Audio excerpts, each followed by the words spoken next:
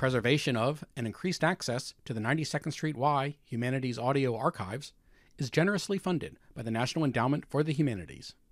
To this very special evening that is part of the Ruth and Oliver Stanton About Women series.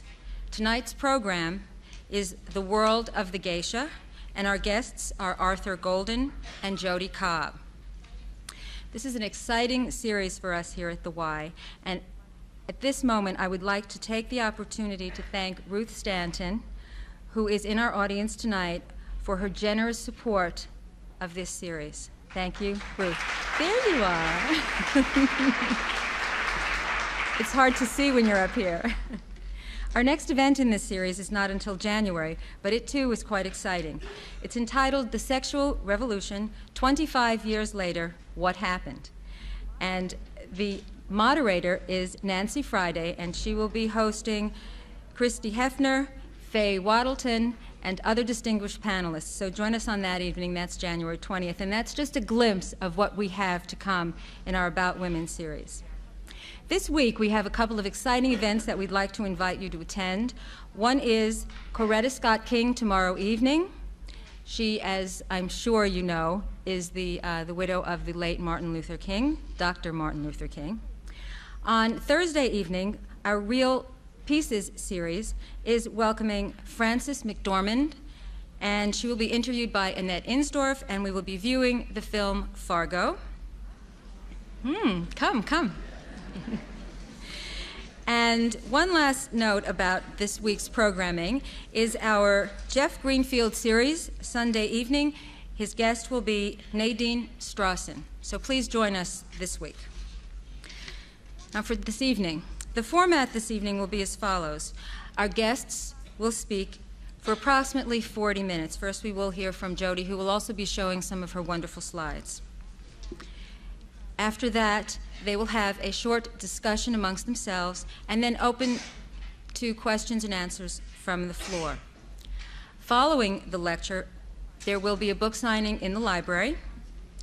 And now on with the program. Arthur Golden He's the author of, our, of the best selling memoirs of a geisha. He was educated at Harvard, where he received a degree in art history, specializing in Japanese art. He continued his Japanese studies and received his MA in English from Boston University. Jodi Cobb has been staff photographer at National Geographic magazine since 1978. She was the first woman to be named White House Photographer of the Year and is the author of Geisha The Life, the Voices, the Art. Right now, would you please join me in welcoming Jodi Cobb, who will begin the evening? Thank you.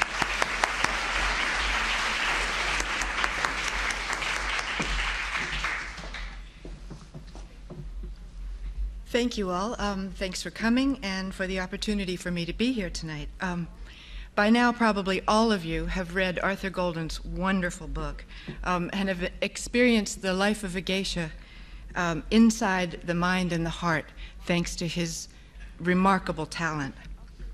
Um, tonight, I'll show you how I experienced it as a photographer um, through the lens of a camera.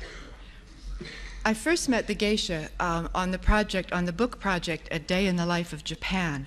And that's where 100 photographers from around the world um, go to a country, spread out all over, photograph for 24 hours, and then publish the results in a book. Um, my assignment that day was the geisha, and I photographed two geisha, just sort of parachuted into their world, photographed for 24 hours, and left. Um, I was captivated by the experience and um, uh, really wanted to do more and wanted to, to see more of, of, of their world. Um, I was told um, that no photographer, Western or Japanese, had been that far inside their life before. Um, and even the Japanese um, who were working on the book project um, said that they, they had not quite seen such intimate photographs of the geisha. Um, based on that work, Kodak gave me a grant, and I took a leave of absence from National Geographic to, uh, to do a book. When I started the book uh, project, I had no idea if I would be able to do it. I, am not um, an expert on Japanese culture or art, uh, as Arthur Golden is, um, and I don't even speak Japanese. It was desperately difficult for me to enter the geisha world. It ended up taking six months over a three year period to do the work. No one is admitted to their world without a personal invitation. Not even clients, not even to the tea houses and the, and the restaurants where the geisha entertain. Without an introduction, I couldn't go backstage to the dances, and even if I were there one night, it didn't mean that I could, uh, I could go back a second time. I spent countless hours and days waiting for permissions. It was incredibly frustrating, and I was not warmly welcomed at first. But slowly it all started to come together, geisha by geisha, day by day. For me, it was just an exercise in patience. Two geisha unlocked the door for me. Mayumi, the first, um, liked Americans. She ran a bar and was convinced that she spoke English. but really, her only phrases were, What you drinking? And, uh, and then happily at the end, Now take pictures. She became my mentor. She taught me what gifts to give, because you can never go anywhere empty handed, and how low to bow to the senior geisha. But she taught me other things as well. She told me of her life of self sacrifice, her struggles to survive during World War II, and how, as a third generation geisha, she had to turn down offer after offer of marriage in order to support her mother and keep their geisha house afloat. She told me of failed loves and then finally finding the love of her life. He was married, but he agreed to divorce once his children were grown. She said that their chances to marry well, their chances to marry well um, would, and to get a good job would be harmed by um, his marrying someone such as herself. She waited 15 years, and soon they'd spend the rest of their lives together, she said, like the couples in the advertisements, going on holidays and growing old together. But just before that happened, he died of a heart attack. And at age 54, Mayumi's future was sealed. She would probably never leave the geisha world. Yuriko was my other friend. She ran a chaotic geisha house with um, uh, four apprentice geisha, or maiko, two full fledged geisha, and two 12 year old trainees. She'd traveled the world and had hated the image abroad of the Japanese as very stiff and formal workaholics. She wanted to show me the warm side of Japanese life and invited me in.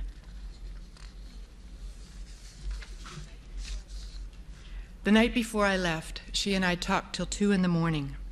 She told me what a hard life she'd lived, how her mother had sold her to a hospital when she was eight years old as a virtual slave, how she'd washed patients' bandages under a waterfall, dressed in rags, carrying someone else's baby on her back.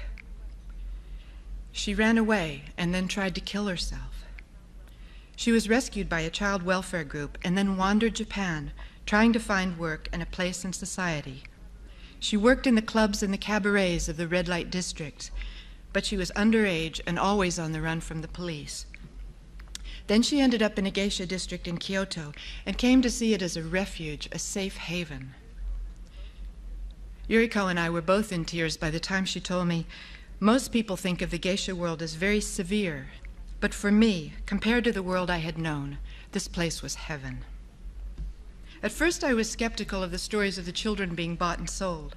When you see Japan today, incredibly wealthy and spotlessly clean, it's impossible to imagine the poverty that preceded the war. And I did have my Western feminist preconceptions that these were submissive slaves to men, or tough businesswomen living off wealthy men. That they were cold blooded romantics, organized fakes, or just gorgeous fossils. But as I got to know the women behind the masks, I found their essential truth. Almost all of the older geisha had entered the geisha world by misfortune and not choice. At the heart of their story was adversity or even tragedy. Most had been sold by destitute parents or abandoned by a husband or born to a prostitute or another geisha. Unable to change the larger culture or their place in it. Their triumph was to perfect that place. Rising above her humble origins, through discipline and talent, the geisha tried to create a life of beauty.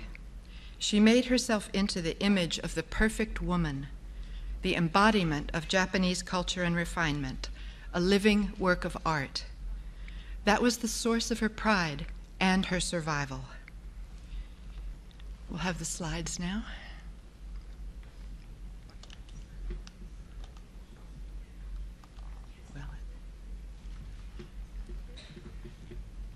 The geisha's lips for me symbolize the, um, the, seal, the secrecy of her world.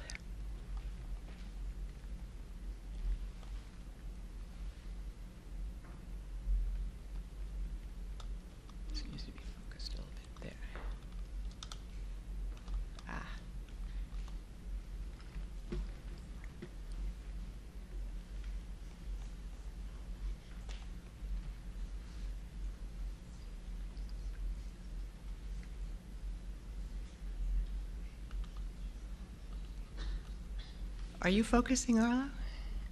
Or is that happening here? She's doing a little dance. a geisha dance. Okay.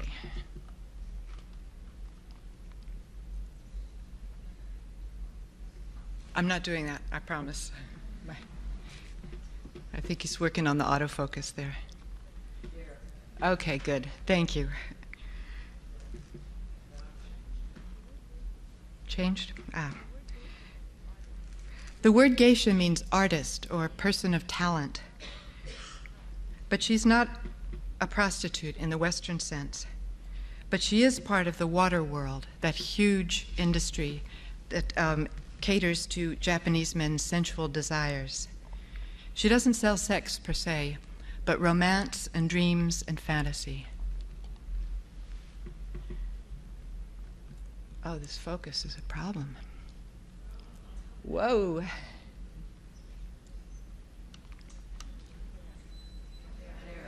There. Okay. Will it will it stay that way now? Okay.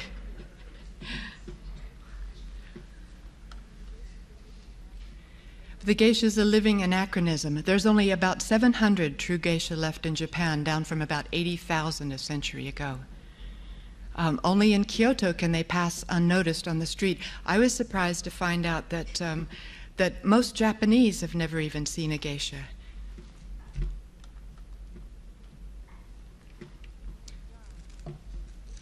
Her job is to entertain at the parties that are the business functions of the richest and most powerful men of Japan.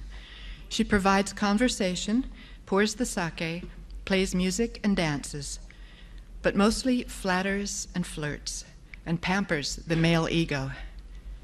And that is a real art form. One I've been working on for many years, cannot, cannot make it. um, geisha emerged in the pleasure quarters of Japan 250 years ago as entertainers for the courtesans and their customers.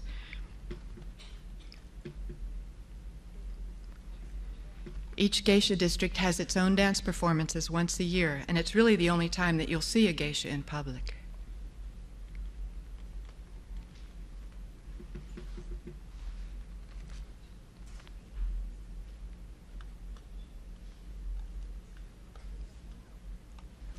She has a hangover.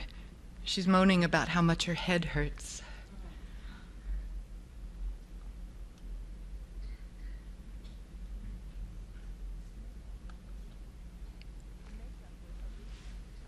The makeup was originated um, um, in the brothels of early Japan uh, to imitate the paleness of noble women.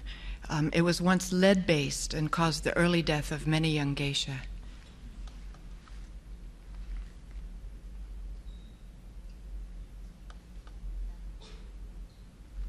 Backstage at the dances.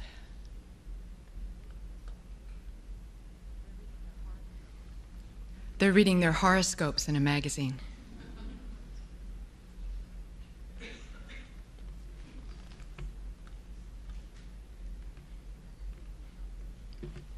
backstage in Tokyo at the dances.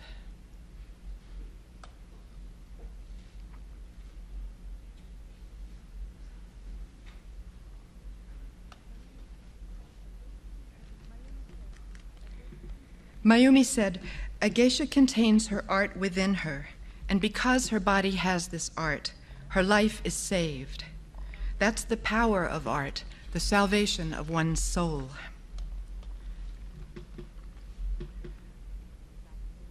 These are wigs hanging backstage waiting to be put on.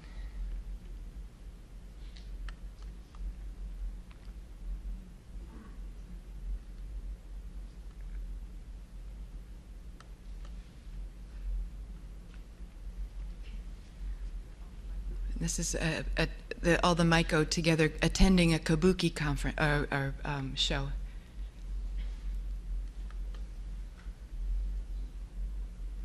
Oops, that one's a bit dark. The seasons are very important in the in a geisha's life, in the dances and the kimonos. Mayumi said, This world is like Hollywood. The smart young girls concentrate on their skills. The dumb ones just look for a man. As in a chorus line, everyone has something different she wants, but the serious ones stay. In the, in the end, art is everything. When they put on the makeup, they just bring their face down to sort of an embryonic uh, um, white paleness, like an egg. This is a Maiko, um, apprentice geisha. Uh, a girl will become a Maiko at about age 16. And then will become a full fledged geisha at about age 21, from 18 to 21. This is a full fledged geisha in her prime, one of the most beautiful um, uh, geisha in Gion.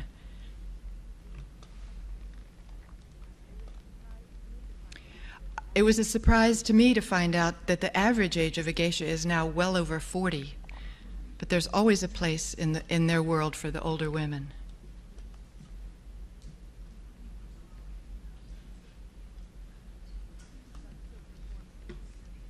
Some still perform at 80 years of age in the dances. A geisha said, This is just my business face, not the real me. A geisha on the outside may look very pretty, but inside can be a different story. This world is too difficult for human relationships, you must forget yourself and your true feelings. The elder geisha have built armor around themselves that will never break open. The sad choice of a geisha's life is whether to be a wonderful person in the flower and willow world or a wonderful person in real life.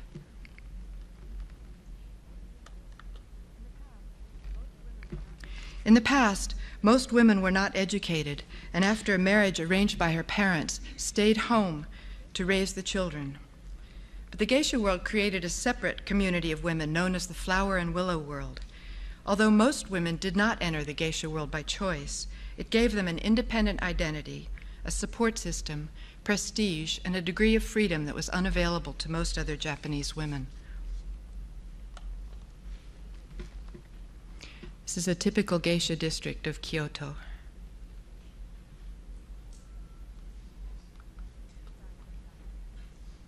inside sometimes looks more like a college dorm than, than anything else.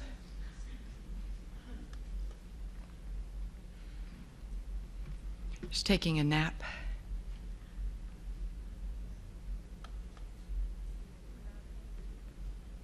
And in the crowded living room, a geisha said, It's hard to live in a geisha house. There are too many of us in one place, and things get out of control. This world is too competitive and filled with jealousies. I have superficial friends, not real ones, and other geisha talk behind my back. But I believe in myself.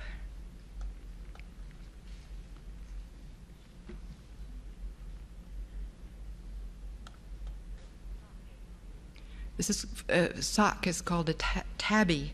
A geisha said, red is erotic. The red under kimono symbolizes the change from girl to woman and we carefully show a trace at the collar and the hem. The men find it quite sexy. They love the nape of the neck, the ankle, and of course the genital area, but not large breasts. Small ones look better in a kimono. We never found, bound our feet like the Chinese, but men find the sight of a foot in tabi very sensual.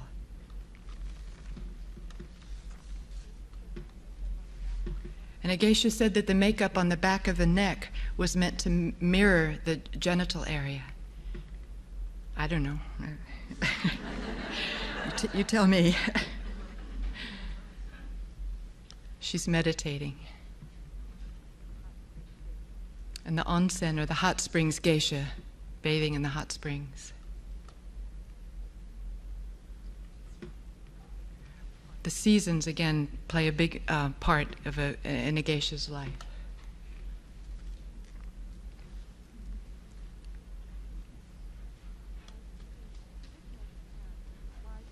In traditional Japan, wives never um, uh, socialized outside the home with their husbands. So the role of the geisha as sort of a party hostess, a social hostess, evolved. The geisha said, It's a game we all agree to play. The geisha knows it's a game, and the client knows it's a game. We're buying and selling dreams. Clients come here to forget their daily life, so we drink, and if the client wants us to dance, we dance. And if he wants us to sing, we sing. And we speak of things that have nothing to do with wives.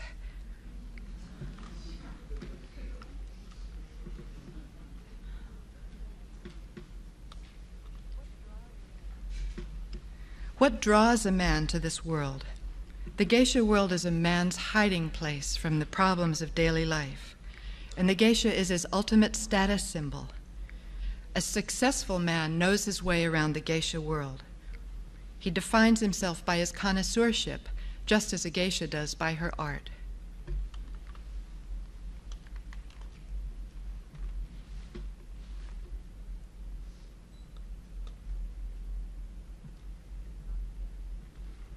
This was a naughty dance they were doing at a, at a club.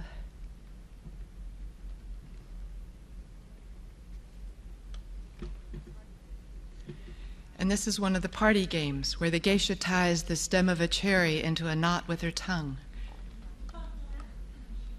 And then the client eats the cherry.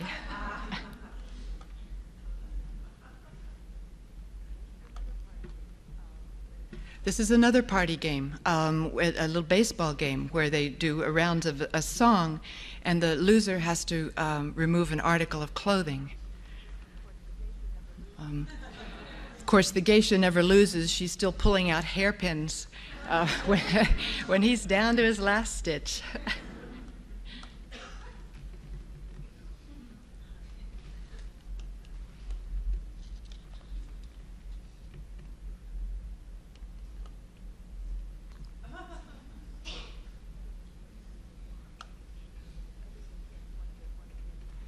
she's getting tipped. One of the one of the geishas tipping another one. Everybody gets tipped. I got tipped that night. I, I made seventy-five dollars. Um, that's good. The cost of these parties is enormous. A, a, a party of, for five people, I think this one um, in particular, uh, costs ten thousand dollars for the one party. Everything about the geisha world is expensive. Um, a kimono can cost from ten thousand dollars, twenty thousand dollars, and up and a well dressed geisha will probably have between 30 and 100 kimonos in her closet.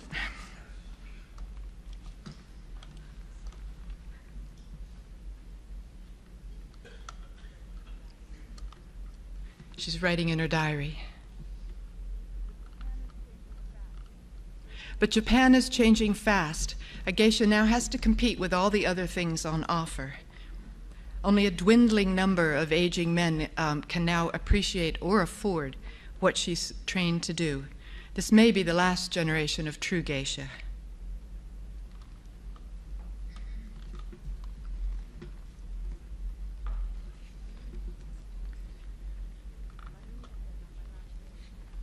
Mayumi said on my last day in Japan, Everyone in the flower and willow world is here for some personal reason. Either she was born into it, or there was some suffering at the heart of it. In the past, a daughter would be sent to a geisha house to keep her family from debt or starvation, just as in Vietnam and Cambodia and Thailand today, parents are selling their children. But there, it's mere prostitution, just the selling of bodies. There's no pride for the girls, no skills to call their own, nothing to emerge with. But in the geisha world, the saving grace is that even though you may enter with nothing, you will come out with your own skill, your world of art. That's a huge thing you gain.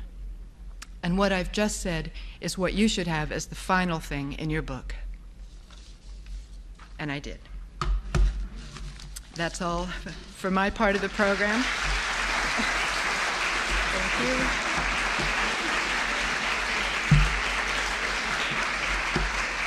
And now we'll welcome, we'll welcome Arthur Golden. And now join me in welcoming Arthur Golden.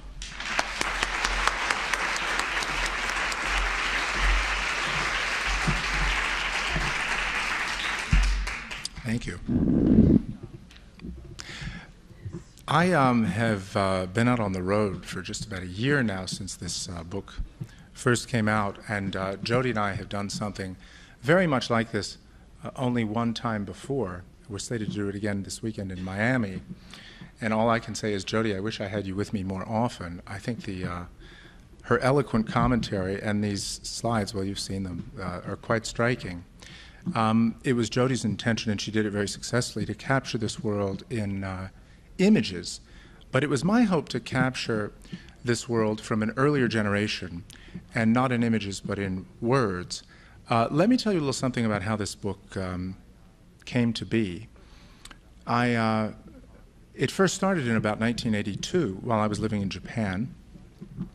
And the truth is that at the time it started, uh, I had no idea of it. I, um, met a fellow there whose mother was a geisha. And uh, although I knew that fact, to tell the truth, it didn't really interest me that much. What interested me at the time was that his father was a very wealthy businessman. Uh, and I was fascinated by the idea of his growing up on the periphery of what is, in fact, quite a, quite a significant empire in Japan. And when I got back to the States a, a, year or so later, I became interested in writing fiction, and I started off writing a novel about a fellow whose um, father was a very wealthy businessman. It happened that his mother was also a geisha, but that, as I say, didn't particularly interest me at the time. Uh, well, I worked on this novel for um, five, four or five years, and I wish I could say it went splendidly, uh, but it did not go splendidly. I uh, wanted to cover about 35 years in the life of this fellow, and I got to about page 75, and I was horrified to discover that I was still on day two I took this as a very bad sign about what length this novel might be. Um, you know, I hadn't yet learned this terribly important thing about writing fiction, which is that um, you can leave things out. I, um, I would get him about four hours into his life on the page and suddenly realize, you know, God, this guy hasn't even gone to the bathroom yet and I would trot him off to the bathroom and try to make a meaningful scene out of it. In any case, I'm sure you're willing to take my word for it at this point that it didn't go too well. Uh, it was in about 1987 that I began to do research into the character of the mother. And my intention at that time was just to fill in a little bit of a material that I didn't really understand about the nature of her life and what it must have been and its rituals and so on and rhythms. And uh, in, in fact, what happened was I became fascinated with the subject matter. Um, I've heard it said that a novel can be about one of four things a character, a, an idea, a story, or a world. And while I had wanted to write a novel about, uh, I would say, maybe a combination of a character and a world, I suddenly found myself so captivated by this world about which I knew nothing at all that I threw out the poor kid and took up with his mother instead. Um, I spent the next three years writing a draft of a novel based uh, uh, on a lot of book learning. I read everything I could find on the subject of geisha. Jodi's book wasn't out at that point. Um, in fact, I'll tell you something candidly. Jodi's book almost gave me a heart attack when it did come out because I was then at the Library of Congress doing research, and you know I'd been working on this novel at that point for nine years, and uh, trying to get it right. And I was just doing some sort of last-minute research before beginning to revise the thing and hand it in. When I typed in the subject of geisha, and up came a book. that said Geisha, Alfred A. Knopf, not yet published. And I thought, well, nobody's going to be interested in my novel now that the, this book has come out on the subject of geisha. But of course, Jodi's book and mine complement each other beautifully, as it turns out. Uh, and I was, once I saw it, um, delighted about it. Um, but in any case, I um, had wanted to write this novel about uh, five years in the life of an adult geisha shortly after World War II. I was fascinated really by the nature of how geisha society had changed in that time because the geisha that you've seen in Jodi's slides are, of course, all geisha from the present period, but life in the world of geisha before the war was very different. And uh, the changes were most significant around uh, 1947 48 when geisha came back. That was the period I thought I'd begin this novel. And of course, it was my intention at that time to write it in third person. Um, the reason for that is very simple. I mean, I, you know, look, I'm, I'm not a geisha, right? It's, it's, it's, it was an easy call on my part. Um, despite that, I should tell you that while I was in Denver not long ago, a woman raised her hand and said, excuse, excuse me, excuse me, is that you on the cover?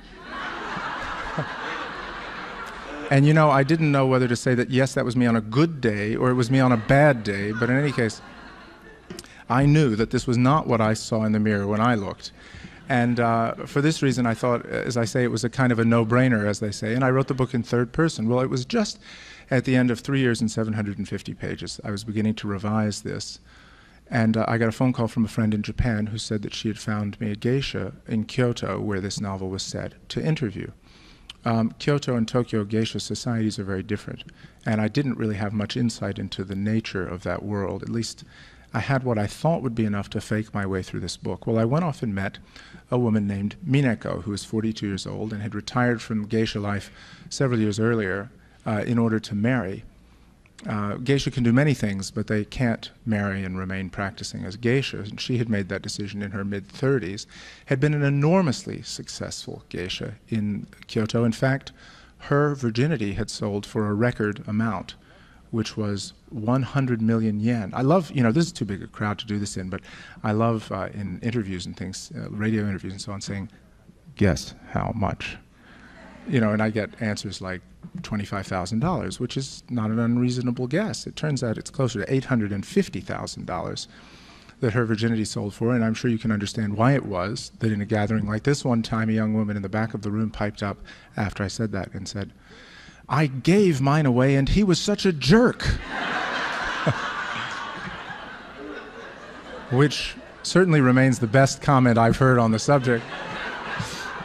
In fact, I stole it and I've been using it ever since.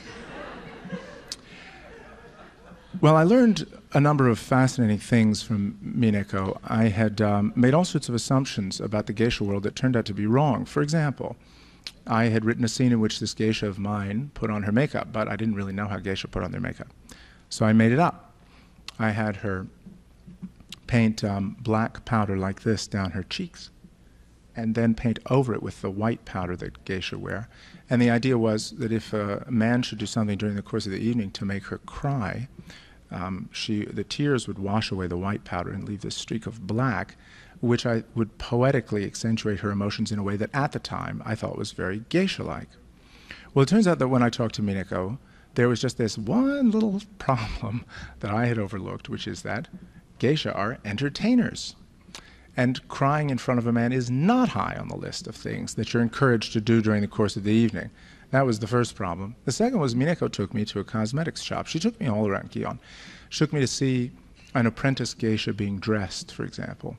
Uh, I wasn't permitted to watch her put on her makeup, but I, because that was too intimate, but I was able to watch her getting dressed. Um, I know that sounds very odd, but in fact, makeup goes on so low that you kind of take off your dressing robe at one point. And once the, the dressing begins, you're already wearing what is in fact a fairly decent getup of uh, consisting of an underrobe. So I watched and photographed that process, which was quite remarkable and happened in about four minutes. Um, men are always dressers in the geisha districts because it turns out, actually, I didn't know why. I never thought to ask. And I didn't know why until one evening uh, at a reading, I think it was in Minneapolis or someplace, somebody said, a young woman in the back said, Well, I've been practicing Japanese dance, an American woman, for uh, a number of years. And if you've ever tried to put on one of these kimono, you'll know exactly why men are dressers. Because the materials are so heavy and it requires so much strength to pull the obi tight that only a man can do it. So this is a kind of hereditary position, actually, in a lot of families. Um, in any case, uh, she took me to a cosmetics shop and uh, I saw all this normal stuff. It looked like any cosmetics shop, like you know Cosmetics Plus or something. But except it also had in it all of this wacky stuff that geisha wear, um, and I bought, of course, one of everything. And when I got when it came time to write this scene, I I locked the bathroom door, you know. And I started off with a, you start with wax, and I kneaded the wax until it got soft, and as Mineko told me to do, and rubbed it into one side of my face here like that, and then made a paste of that white powder and painted that on top. And it turns out that once this stuff dries, you could pretty much stand in front of a fire hose, and it wouldn't come off. So that you'd have to cry really hard. I mean, you have to really, really cry. So, in any case, this was just one trivial example of the things I'd gotten wrong. Um, I, I came home from my 10 days in Japan with a box full of, of little bitty, you know, micro cassette tapes full of our conversations, and came to the conclusion that I had no alternative but to throw out my entire first draft and start all over again. So I did. And again, I wrote a draft of a novel focusing on five years in the life of an adult geisha shortly after World War II, once again in third person. And uh, it was at the end of this time that I began to revise that second draft, thinking, finally, after six years of work, I think I'm done. And this time I did have the historical information and the rituals of a geisha's life and so on more or less right. So I thought, all right, we're done now. And I, I passed it around to some friends who knew about publishing to begin with, and I got back word gradually that the manuscript was very dry. Well, the first person who said this, I thought, well, you know, one person, it's okay. Better if he didn't, but it's okay. But soon I heard what amounted to a kind of a chorus of voices, and at one point somebody said to me, you know, I think you could get this book published, but it would be a very small book. Well, now I didn't really have a problem with that.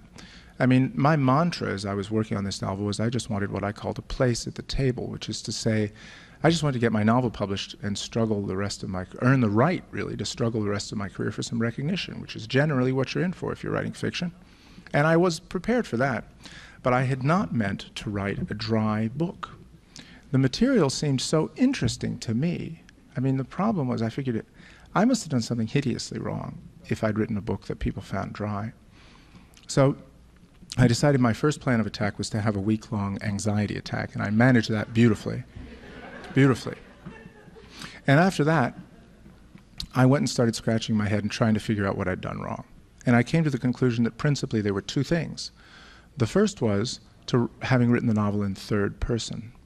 Uh, it wasn't so much writing in in third person that was the mistake, but why I had chosen to do so. And that is to say that I'd made the decision to keep my sensibility and her sensibilities completely those two sensibilities completely separate.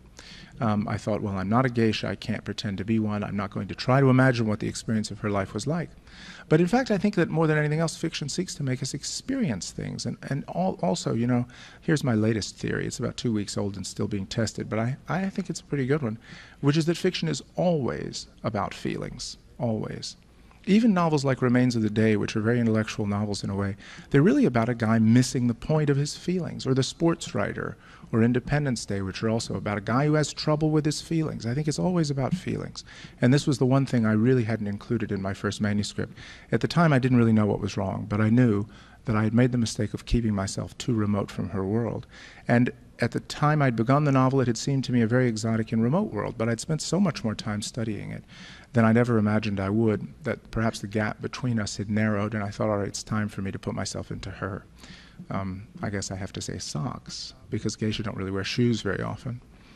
Um, but the second problem was having written the novel in um, uh, focusing on an adult geisha. Because if you're going to write a novel about a world, uh, which is what I intended to do, although you know a good novel should end up, I think, being about more than one of these things, I certainly became more and more interested in the character I was creating as I worked on it.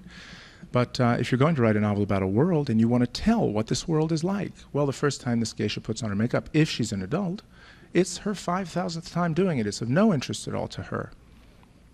It doesn't make any difference in the manuscript or in the narrative, I should say, and so you have no choice but to grind things to a halt and deliver a lecture about makeup. And it isn't just makeup, of course, it's every single aspect of life in this world. I think that I hope I'm making it sound worse than it was, but I think that's what made this manuscript seem so dry in part. Uh, whereas if you use a child, well, the first time she puts on her makeup really is the first time she's ever put on her makeup.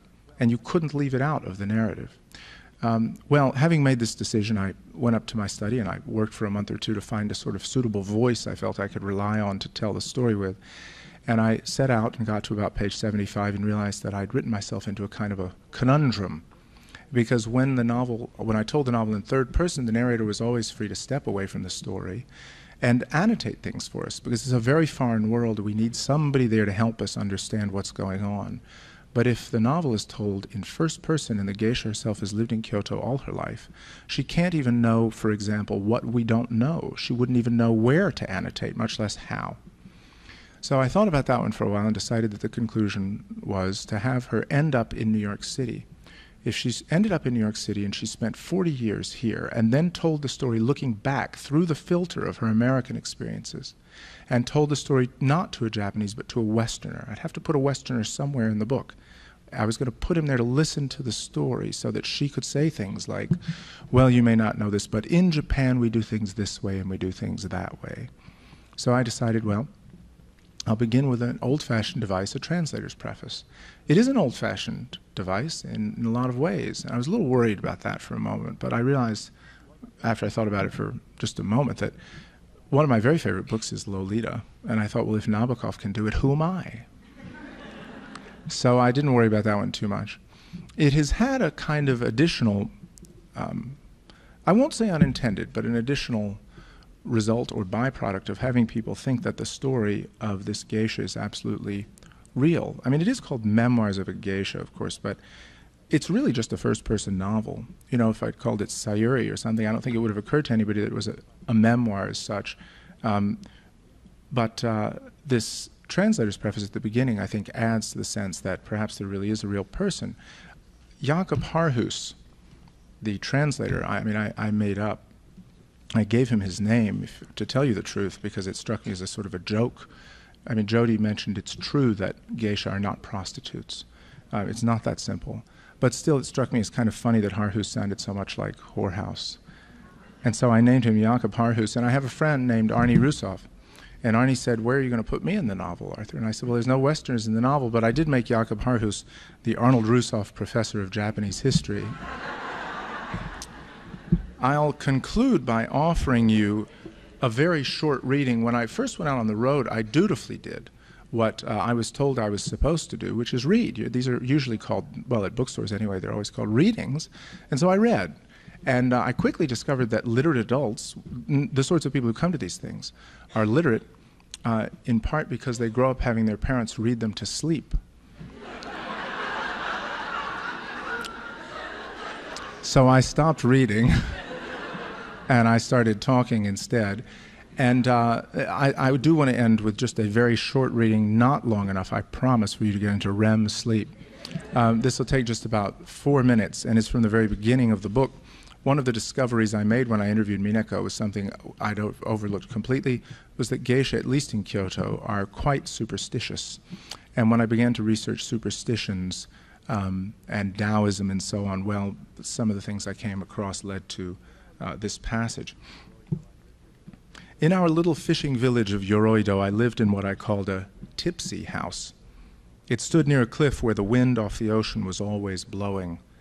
As a child, it seemed to me as if the ocean had caught a terrible cold, because it was always wheezing, and there would be spells when it let out a huge sneeze, which is to say, there was a burst of wind with a tremendous spray. I decided our tiny house must have been offended by the ocean sneezing in its face from time to time, and took to leaning back because it wanted to get out of the way. Probably it would have collapsed if my father hadn't cut a timber from a wrecked fishing boat to prop up the eaves, which made the house look like a tipsy old man leaning on his crutch. Inside this tipsy house, I lived something of a lopsided life because from my earliest years I was very much like my mother and hardly at all like my father or older sister. My mother said it was because we were made just the same, she and I, and it was true we both had the same peculiar eyes of a sort you almost never see in Japan. Instead of being dark brown like everyone else's, my mother's eyes were a translucent gray, and mine are just the same.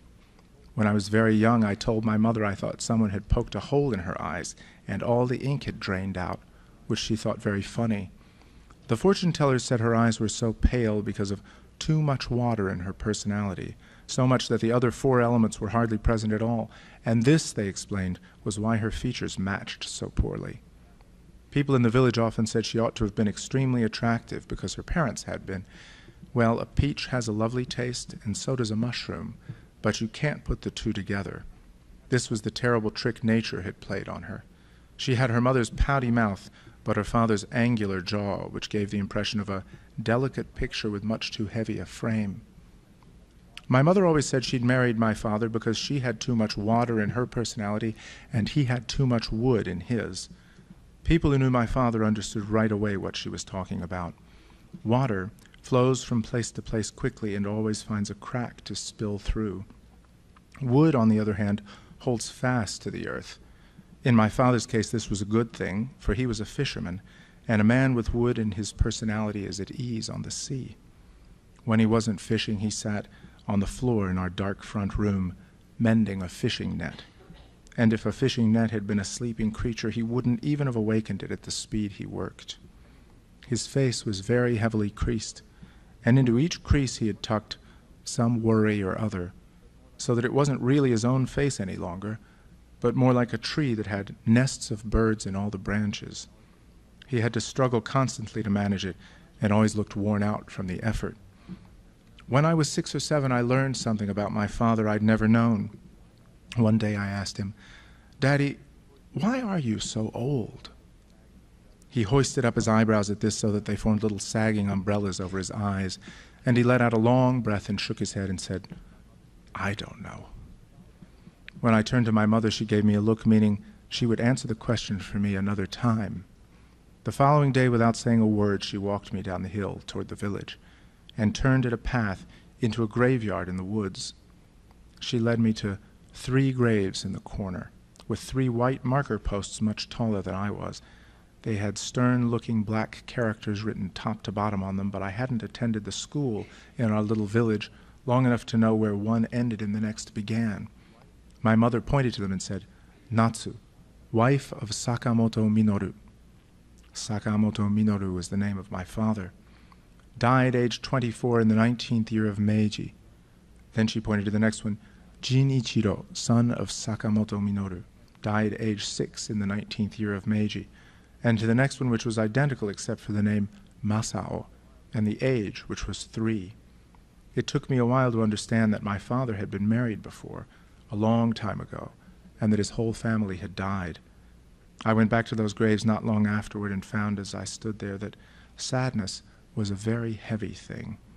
My body weighed twice what it had only a moment earlier, as if those graves were pulling me down toward them. Well, I'll stop there. Thank you very much.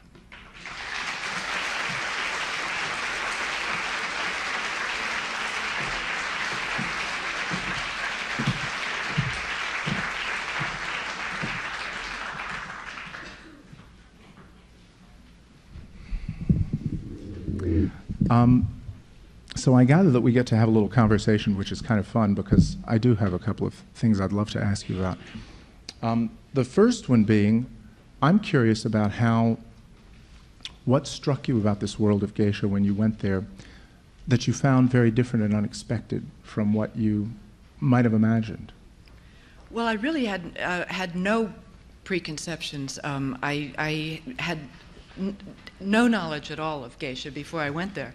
So it was just every single thing that I learned was something was something new. Um, it was unexpected that I was going to be in that hmm. world, and so just every day it was just uh, trying trying to find someone who could explain it to me, who would show me, who would invite me somewhere. Now you're you're a photographer, so and yet you also wrote this book. So what about the difference between approaching it in images and approaching it in words? Because that's something I was thinking about as I started mm. talking. Um, I didn't know I was going to write it till I was finished. Um, I was I interviewed um, the women uh, for hours and hours um, and tapes and in notes, and I thought I would bring them all back and turn them over to a real writer. And um, um, in the end, uh, I realized that nobody really had lived that world as I did, that somebody who went back would not have had the same experiences and it wouldn't have, it wouldn't have been as authentic. So I just sort of tried to, I put up like slides in my mind and sort of described the slides, the pictures that I saw, and the memories that I had from, uh, from my time there. And then tried to let the geishas speak for themselves. I thought that was, the, that was really the only, the most important thing that I could do. I'm very envious of one of your descriptions, actually. It's the one, I don't know if you'll remember it. Um, because I don't remember it well enough, but it's about the hair looking like waxed, Oh, the rolling hills and valleys. waxed rolling hills and valleys with little wildflowers or something in them. Yeah, I thought that was great. Thank you. Yeah. Um, so let me ask you one last one about um, being a National Geographic photographer. I mean, am I right in assuming that this was not one of your more exotic uh, assignments? What would an exotic assignment be? Well, I just got back. from- Besides the White House. Yeah, I know you right. you were White House photographer.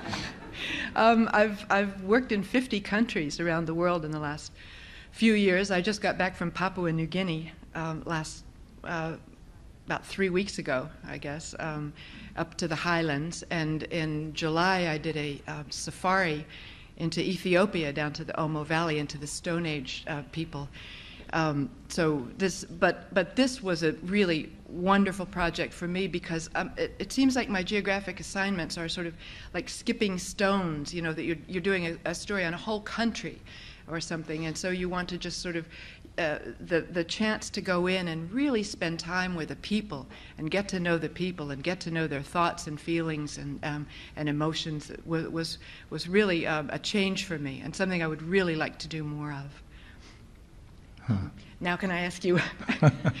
you I, I heard that uh, Steven Spielberg is making a movie of uh, memoirs of a Yeah, I'll tell How you my little feel? my little Hollywood thing. Uh, it feels pretty wild, to say the very least.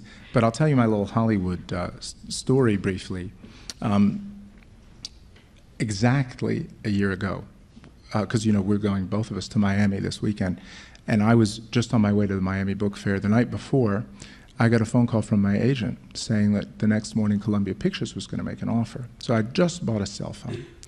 And I um, went off to uh, Miami, and I got off the. Uh, I you know never had a cell phone before, and I got off the plane, and I, I checked my messages, and it was a message from my agent saying, "Great news, Columbian Pictures, everything's wonderful." And so I thought this is great. I called my editor to tell her, but she wasn't there, so I left her a message, and uh, I got to. Um, I got to uh, the hotel, and I was just signing in when the phone rang, and I answered. It was my editor. I told her. She said, "Arthur, that's that's a fabulous." I said, "Well, I'm actually just walking across the lobby of the hotel."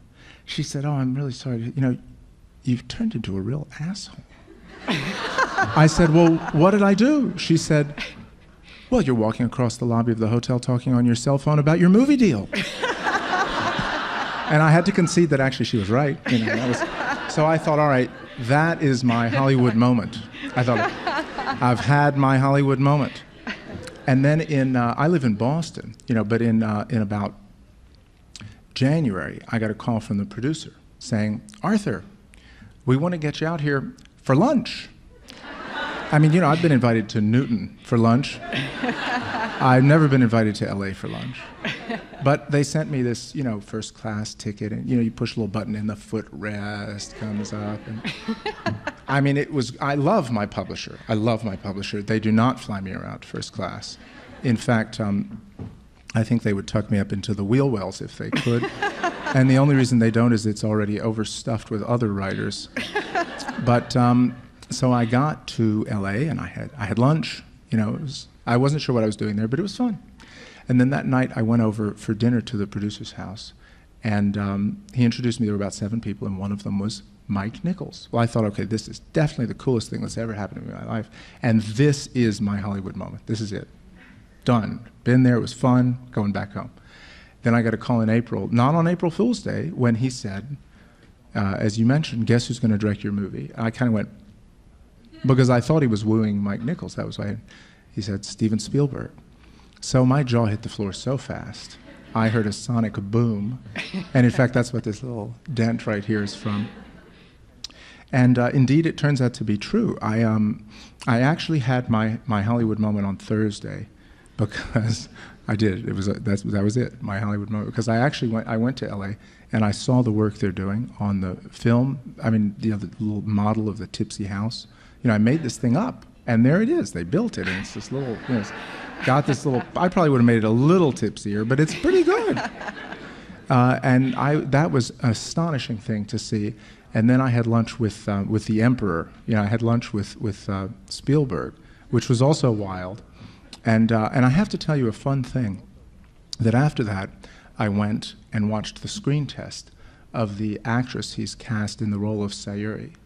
And she was absolutely fabulous. I couldn't, I couldn't take my eyes off the screen, and uh, really captivating. And she's sitting right there. Her name is. Uh, her name is Rika Okamoto. She's from Japan. She's lived in the United States seven years, and she's a dancer with uh, Martha Graham Company. Uh, so anyway, she'll be on the silver screen about this time in the year 2000. Now, I want to ask you um, a question about the differences between writers and photographers and writing and photography. Um, a photographer can take a day off, can put, a cameras, can put the cameras down and just relax, and, and, but a novelist has all these characters living in his mind. How do you keep from going mad? Well, you know, it's a funny thing, but I think there are writers who are more intuitive of the sort of Isabel Allende type, who really do feel that they're channeling. And they go like candles, that's their ritual to get into the routine of writing. And then there are other writers who are sort of cold hearted, analytical types, and I'm one. You know, I never really have any illusion that the people I'm putting on the page are real. Um, people talk about how the characters run away with them. I mean, for me, I feel like, well, I'm in charge. They're going to do exactly what I tell them to do. Hmm. You know, and there are times when I can't get it written. I mean, that's what people say. Well, she wouldn't marry him. That kind of thing. I mean, what I what you find is you try to write it and it just won't work. So you've got to do something else. But I don't feel like it's the character that dictated it. It was just my shortcoming.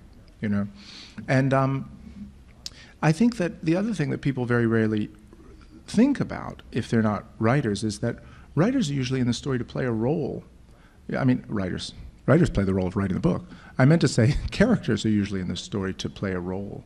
And instead of feeling that you're living with this family of people, I, for me it seems like I feel as if I'm playing chess, you know, moving the pieces around. And my consciousness is, in my consciousness is always the idea of where a character is in relation to where I want him to be at the end of the day or at the end of the month or at the end of the book. Um, and that's really what it feels like to me. Hmm. More like playing chess confirms my feelings that, uh, that the novelists seem to have more control over their material than almost any other artist. Well, certainly than a photographer. Mm. Slaves true. to, to uh, yeah, machinery, whatever, whatever's out there, cameras too. and light and yeah. film and yeah. all those all those variables. But you can just absolutely control your universe. That's, now, I have another question um, about writing in the voice of a woman and, and sort of living the, that, that feeling. How has that in any way changed your relationships with the women in your life or the women that you know? Well, um, I don't think so. Um, in the sense that I, um, I suppose that there are, you might, well, I, was, I remember once reading an article in the New York Times that said, um, the degree of success of a marriage can be predicted by the femininity of both partners. That the more feminine the man is, and the more feminine the woman is, according to certain characteristics that were judged as feminine, such as you like to talk, you like, you, are willing to discuss your feelings.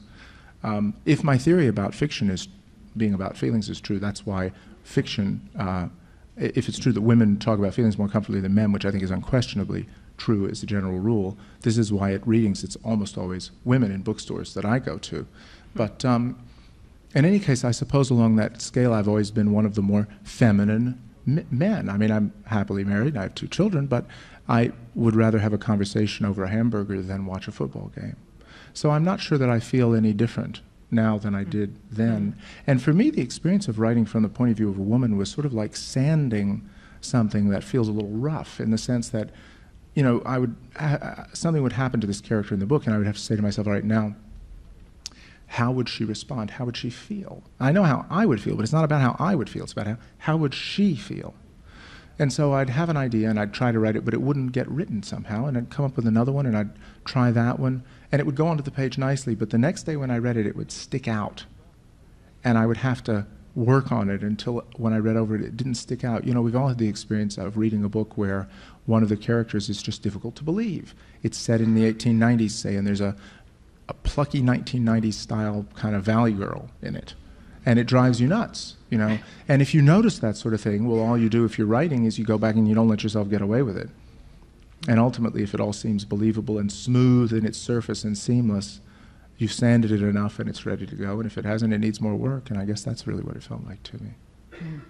Um, why don't we open things up to questions? I think we're at that point. I gather that we have about 15 minutes. If you have any questions or comments or, or heckling, I suppose we should offer you that option. Go ahead, Jodi. You pick the first one.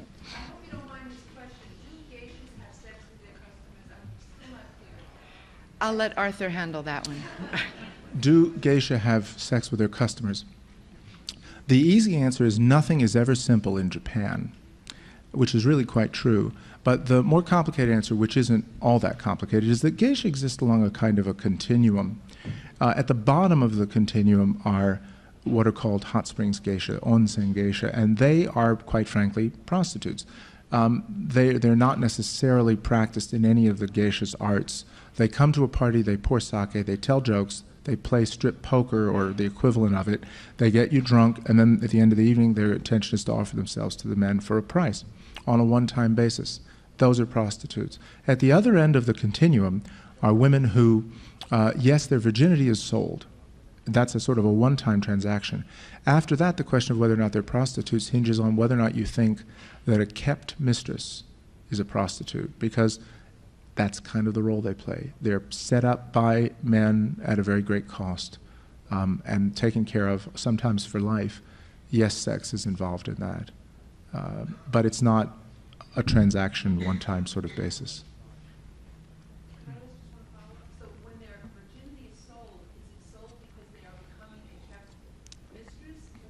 No, that's a one time. The question is is their virginity sold because they're coming, becoming a kept mistress?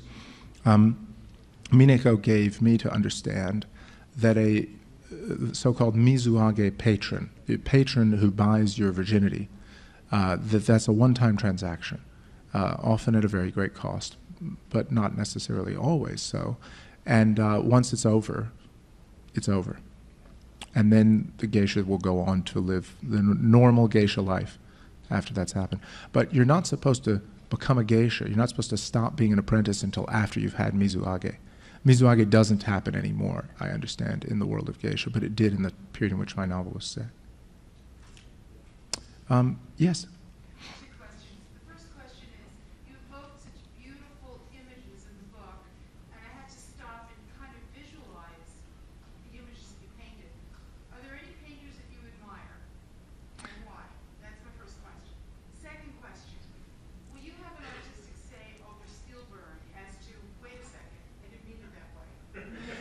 Um, well, the first question are there any painters I admire? Um, let me answer that in a sort of a general way by saying that I, I, studied art history in college, and I, you know, I love Japanese art, but I, I respond more truthfully. I respond more to Western art. There's something about um, it I find much more passionate, and the same is true of the music. Um, and uh, you know, I always loved Rembrandt, and I always loved uh, John Singer Sargent, say. And, um, you know, I like the Impressionists so, too, but I'm, I, I think I probably go back to that earlier period a little bit more of, say, the Renaissance. Um, in answer to the second question about Spielberg, will I have any artistic control? Uh, it turns out that when you sell the rights, you really sell the rights. And that's it. You're out of the loop. But happily, um, I was told by I have a terrific agent and who gave me who explained to me that the only protection you have is to sell the rights to somebody with integrity. And at one point, there was somebody knocking at the door, and, and uh, I was told, You don't even want to know the offer on this deal uh, because this is, you don't want this person. But when Columbia Pictures came knocking, she said, This is, this is who you want. And um, I've been kept in the loop. I mean, I, the costume designer and set designer came and spent a weekend at my house and we talked about issues, and they went on from there to do their work. Um, the reason that I had, I mentioned I had lunch with, with him, which was wild, uh, but the reason that that happened was because um, I'd been given a copy of the script, and it was time to begin discussions about it. Uh, happily, um, I think I, I will be kept in the loop, but he's the one with the ultimate say. You're on, Jodi. Oh, well, for, I, I wish somebody would buy the movie rights to a photography book, but uh, I don't know. I think it'd be a lot of slides coming up there. Yeah. Probably a little bit boring. Somebody, at the, yes.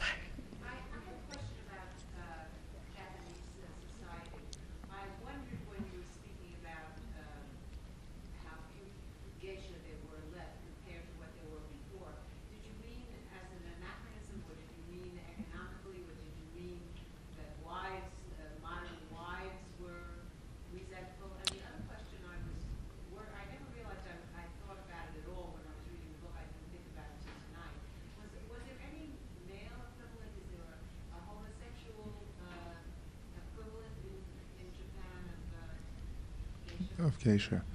Um, the first question was about the reason for the declining population of geisha. Did you, did anybody talk to you about that while you were over there? I have a couple of ideas, but let me mm.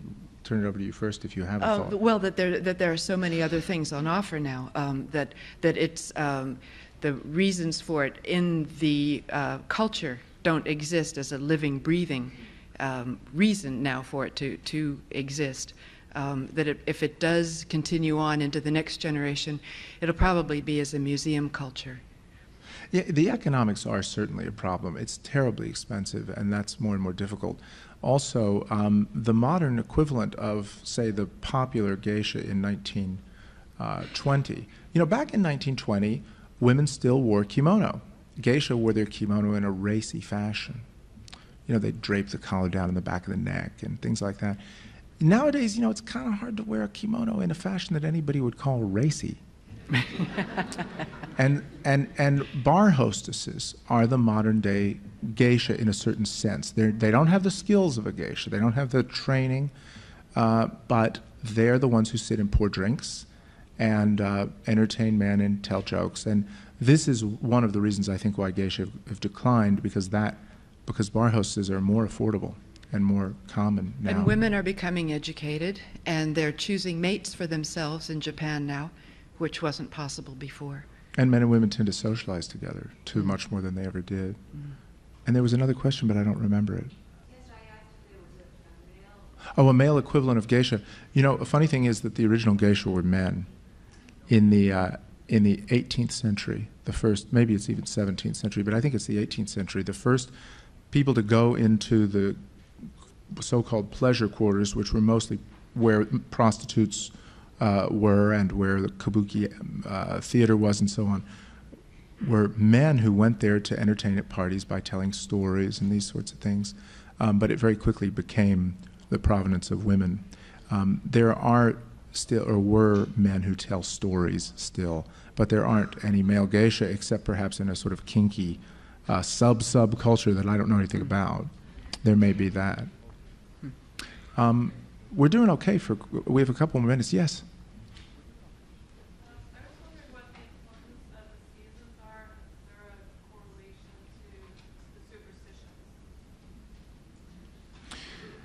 Is there a, uh, what is the importance of seasons and is there a correlation with superstitions? That's interesting. In Taoism, I have absolutely no doubt there is, because in Taoism, everything's all divided up into quadrants, you know, and no doubt the four seasons fit into that beautifully, as do uh, hours of the day and uh, all sorts of other things, you know, elements like metal, water, wood, and so on. Um, but in modern day Japan, I don't know of any way in which seasons correlate with superstition. But um, seasons are terribly important in, in Japan, and uh, you see it in geisha culture, especially by uh, the changing of kimono and kimono design. Uh, in the spring, you wear one weight. And in fact, when I came back from my interviews with Mineko, I came back with a matrix that I made up that um, explained, you know, on uh, July 1st, you change uh, this item of clothing to this weight, and certain designs are typical, and the other items to the other weights, and so on. And every month, um, something would change. And I had this matrix, so I, when it came time to write a a scene, I would first have to figure out, all right, where are we here? Let's see. All right, it's May, and um, so I would I would get my matrix out and come up with a kimono, uh, which takes a long time to describe something like that. I would pace around my study, banging my head, and then um, it turns out that a copy editor is basically your worst English teacher nightmare And the copy editor's job is to go through and say, well, now, you said it was May, but if I figure out your chronology, it's clearly July. And so I would think, oh, you know, great, I got to throw out all my kimono and start all over.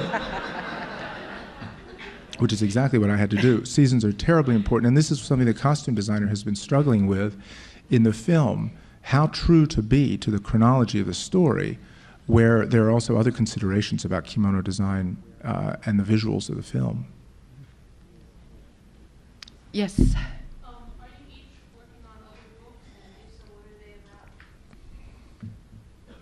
Um, I'm, I'm working on a um, magazine article for National Geographic that I hope will become a book. Um, it's on cultural notions of beauty around the world and um, uh, the science that's being done on it, the, uh, um, uh, the economics of the cosmetics industry, that sort of thing. I'm hoping, I'm hoping it will be a book. I um, have been doing so much traveling that I haven't gotten um, very far on my next book, but I have written um, chapter one. I mean, I wrote chapter one, you know, and then I spent the rest of the day saying, "Okay, let's see, boldface. No wait, Bo- yeah, boldface. No wait." And that was a that was a day, uh, and about as much work as I've gotten done on it. Um, writers are sort of funny about talking about their next projects. I don't know why. It's maybe it's like naming the baby beforehand. But I will say that this next novel of mine has absolutely nothing to do with Japan. And although I have um, thought it would be a blast to give a geisha a walk-on part in the novel, I can't. I don't think I'm going to be able to do it because of the time period. I think we're down to the sort of one, one or two more question Yes. Um, do I speak fluent Japanese? At the peak of my Japanese ability, which was in 1982 after I'd lived there, I, I would not have hesitated to put on my resume that I spoke fluent Japanese. um, the truth was, you know, kind of one of those resume kind of things. You know, I uh, I spoke it pretty well but I didn't speak it with native fluency. I mean, I studied about four years of Japanese in school and lived there for 14 months. Now, since then, it's gotten pretty rusty, but it still works a little bit. Yeah. Yeah, I think we're. I think we have to make this the last question. Does that sound right? Yes. Well, uh, you're at Boston University or were at Boston University. Uh, could you tell us some of the courses that you taught or teaching there? Oh, um, well, I um, did get an MA at Boston University, and I did teach creative writing there. Um, what I've been doing lately is teaching a course in narrative structure. I sort of go around, uh, I don't really go around doing it, but occasionally I, I, did it in San Francisco last weekend, in fact. Um, and, um, and that's all I'm teaching right now because I just don't have any more time. But that was such a short one. Let's take one more because we have two more Oh, minutes. Okay, there's,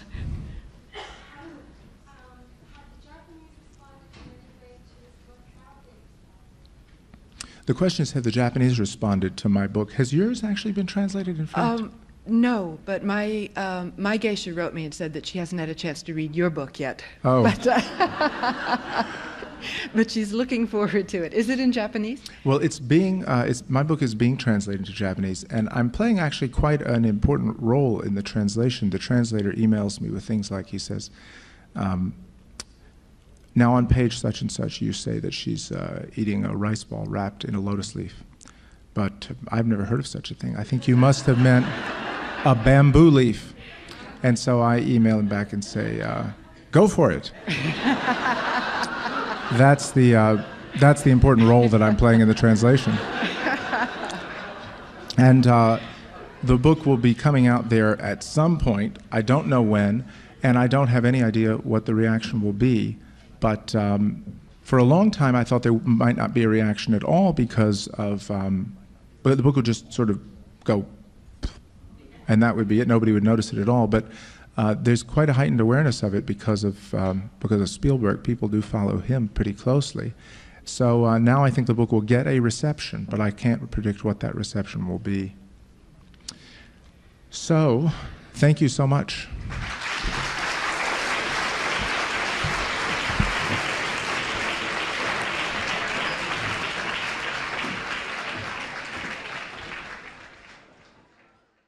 Thanks for listening. For more information on the 92nd Street Y New York and all of our programs, please visit us at 92ny.org.